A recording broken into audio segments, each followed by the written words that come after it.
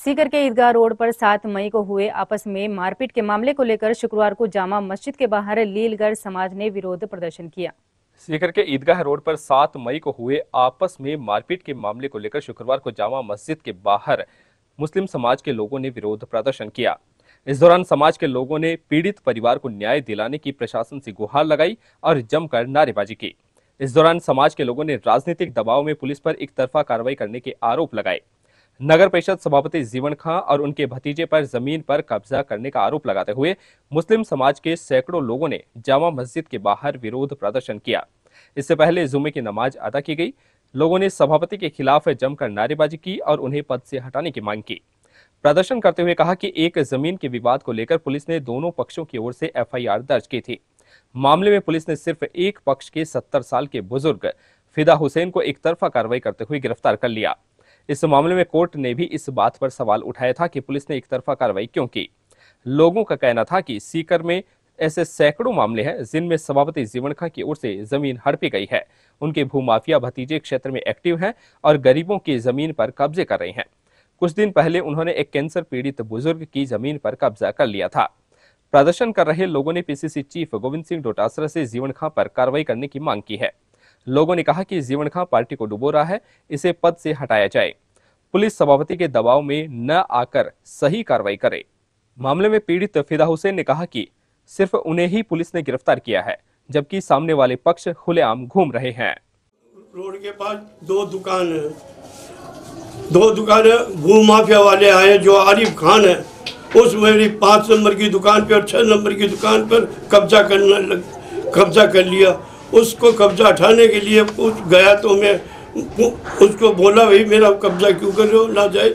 क्यों दबा रहे हो मेरी ज़मीन? तो मेरे से मार पिटाई कर ली।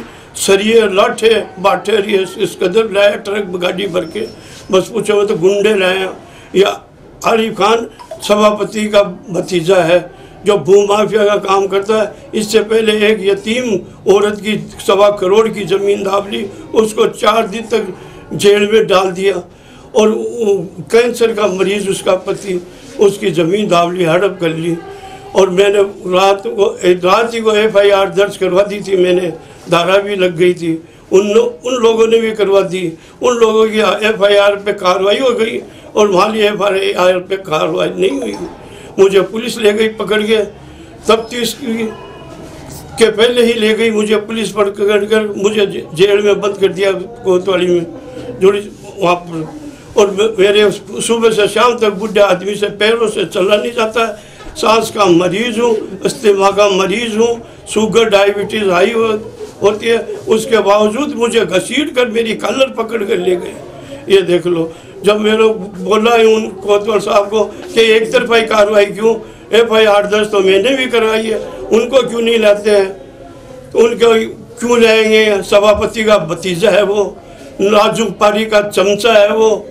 आज ये सत्यानाश कर दिया इनको एस पी साहब के पास जाऊँगा मैं, मेरा लीलगढ़ समाज को कम से कम पंद्रह हज़ार आदमी है मेरे, वो लेके एस पी साहब से मिल लूँगा।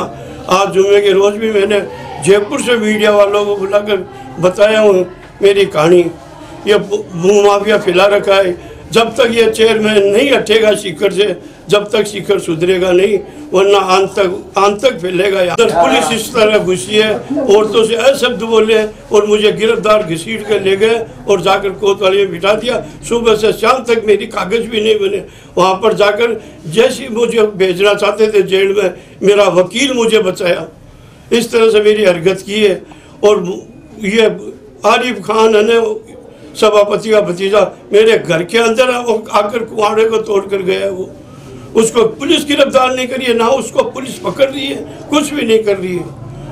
मेरी एफ़ आई आर दर्ज नहीं है उस पर कार्रवाई नहीं होगी मेरी। जब जब उनके एफ़ आई आर में कार्रवाई कर सकते हो तो मेरी में क्यों नहीं हुई मैं शहनाज बानो।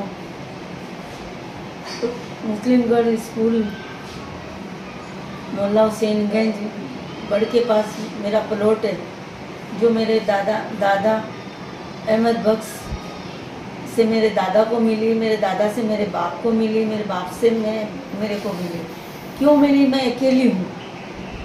इसके दौरान मेरा भतीजा मुन्नाफ दस पंद्रह साल से कब्जा करने की हड़पने की उस, उसको लगन लग रही थी। उसमें है ना उसमें मैं पंद्रह साल से हाई कोर्ट में केस लड़ रही हूँ। ये दावेदारी के लिए। वो दावेदारी के लिए। तो ये ना, जीव आरिफ खान जीवन था का भतीजा चेयरमैन का, उससे मिलके और कोई जुनेद खान किड़ोली वाले को कब्जा करवा दिए। नकली रजिस्ट्री, नकली पट्टे बना के उसको वहाँ कब्जा कब्जा करा दिए। इस दौरान मैं मुंबई से आई। और वहाँ गई तो वहाँ वहाँ जाके देख रही हूँ तो मेरी तो ज़मीन पे दीवार, घर सब बने हुए मैंने वहाँ विरोध किया। विरोध किया तो वहाँ से दस पंद्रह आदमी पहले से ही जमा थे।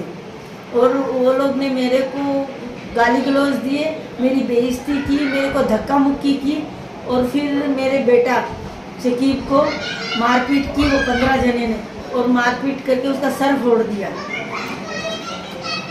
और फिर हम लोग को भगा दिए। और मैं गई थाना। थाने में हमारी एफ़ आई आर हुई। मैं, मैंने एफ़ आई आर दर्ज कराई। उस पर कुछ कार्रवाई हो रही नहीं है।